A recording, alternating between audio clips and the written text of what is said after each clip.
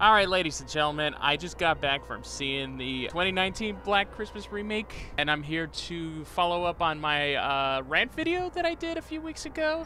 To start things off, before I go into any spoilers, quote unquote, I'll just cut through the bullshit and give you the basics of my thoughts on the film. Compared to the 1974 original, it's a piece of shit.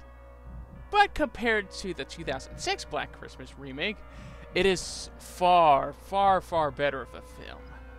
Honestly, I don't really feel like delving into too much details for the film, even though I will spoil some things, because I would like to eventually do a full-blown review on the film at a later date, as well as a review of the 2006 film. But overall, it was...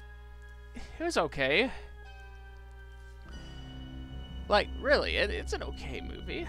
The controversy on the internet yes, there's some really stupid parts with the uh, faux wave feminism that's a little overwrought, overcooked, and uh, on overdrive, but putting that bullshit aside and the fact that it really shouldn't be called Black Christmas, it's an okay movie. I've seen so much worse. So much, so much worse.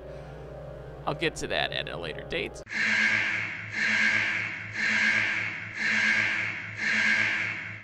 In case you're wondering, uh, Black Christmas 2019 has fuck all to do with both the original Black Christmas and the 2006 film. No Billy, no Agnes, no crazy escaped mental patient calling people, no mysterious psychopath murdering people, not many prank phone calls, not many vulgar phone calls, no obscene calls.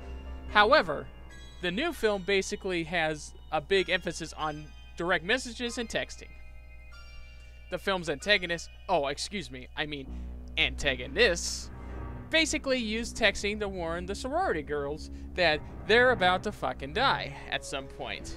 That's how they communicate with their victims to be. Yeah, they updated that aspect. In fact, that's really the only major uh, callback to the original or even the 2006 film. There's also two instances of um, a callback to the big plastic death scene from the original. I don't remember if the remake had such a scene. And there's even a really fucking weird Exorcist 3 reference. Yeah, that scene, in case you're wondering. As I anticipated before seeing the film, Imogen Poots easily was the film's MVP. Her performance and arc was, without a doubt, the film's heart and soul. However, um, everybody else, uh, Cary Elwes included, didn't turn in the most believable or particularly great of performances, ranging from uh, just a generic uh, sorority girl to ah woke as fuck. The editing was okay. The direction was fine. Uh, the heavy uh, post-production censorship from an R rating to a PG-13 was hands down the film's big Achilles heel. I hope to fuck Universal Studios and Blumhouse put the original uncensored, unexpurgated R-rated cut onto the Blu-ray.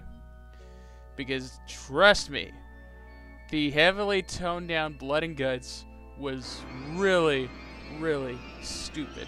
Which was pretty much the gist of my rant when I made the previous video. So in conclusion, um, would I recommend Black Christmas 2019?